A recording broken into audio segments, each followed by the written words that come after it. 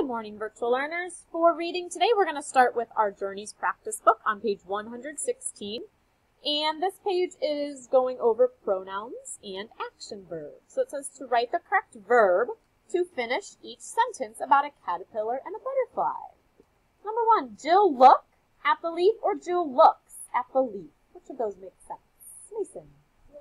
Looks. We just need to choose the correct action verb that makes sense. Number two, can someone read that one for us? John, go ahead.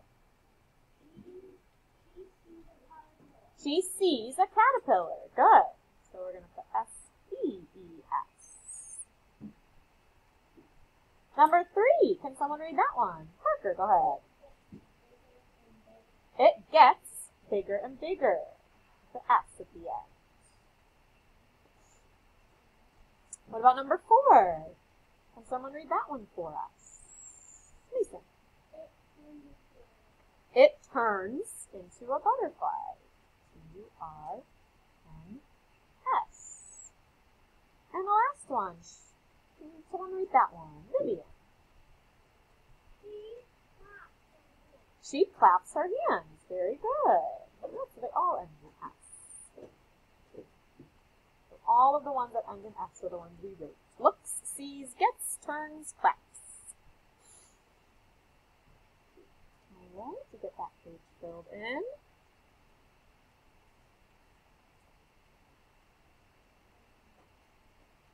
Alright, we're also going to look at the next page. This page we're going to look at together.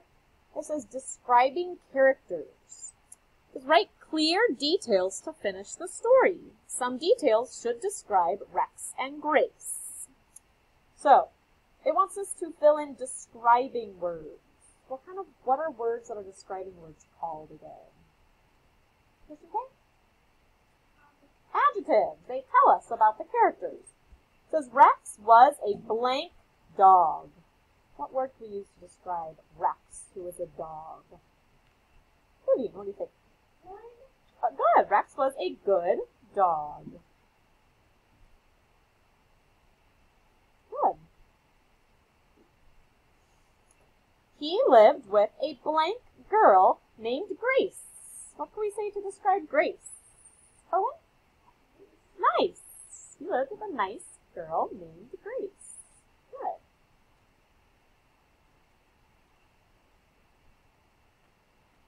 Okay, so now it's going to switch a little bit. Now it says, Grace wanted to teach Rex to blank. What could she teach Rex to do? This one's not so much an adjective. Um, Christian Brown. To shape. Good.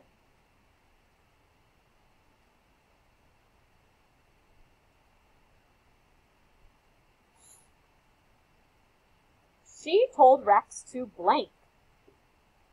Logan?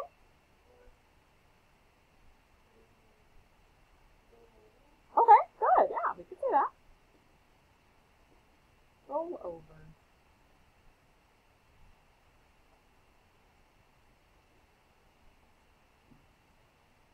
When Rex did the trick, Grace told Rex, what could she say? When a dog does a trick, what could, what could you tell them? Parker?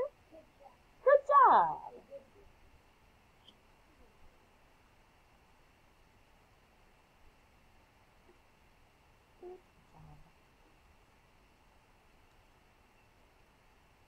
And the last one says Rex wagged his blank tail.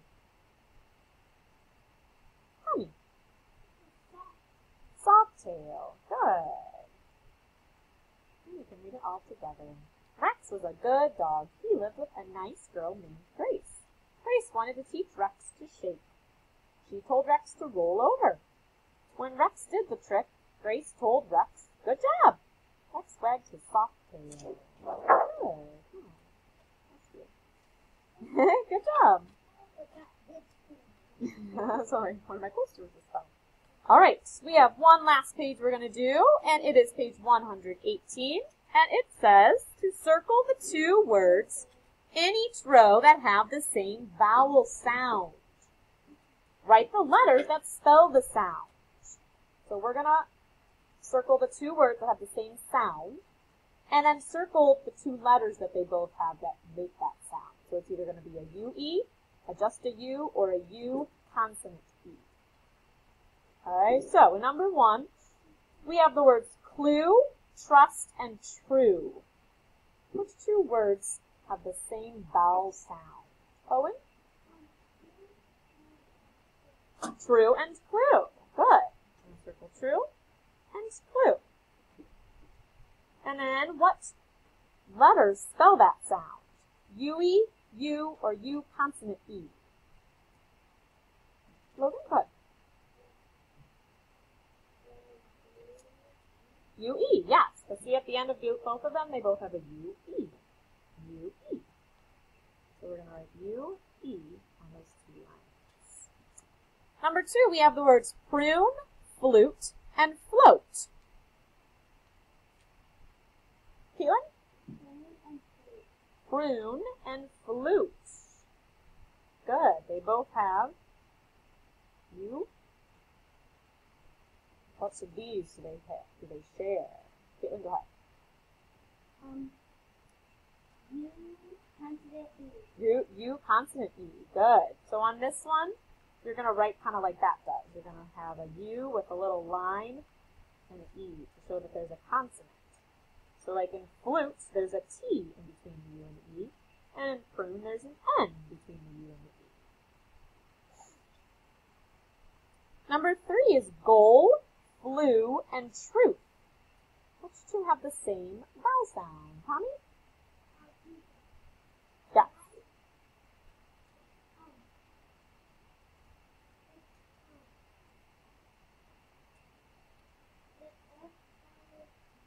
Flew, yes.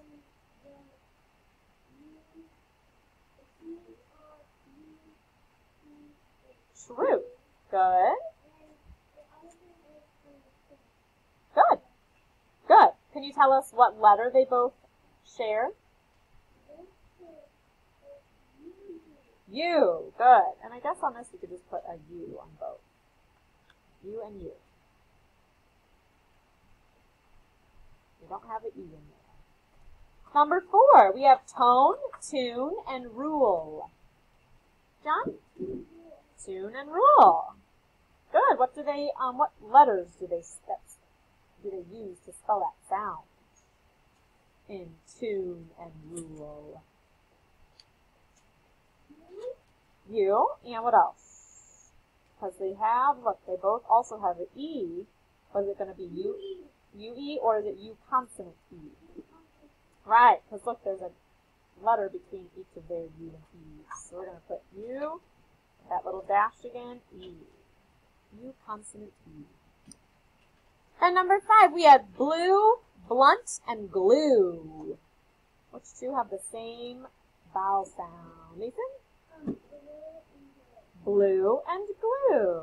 Good. And which do they share? What letters do they have the same that spell that sound? Good. U-E. Good job. All right. When you are done with this page, this is our last page, make sure you get this all filled in. You can tear out this page and the pages we did from yesterday if you have not and put them in Keep at Home. And that's all we have for today. For virtual friends, we will see you later. Bye!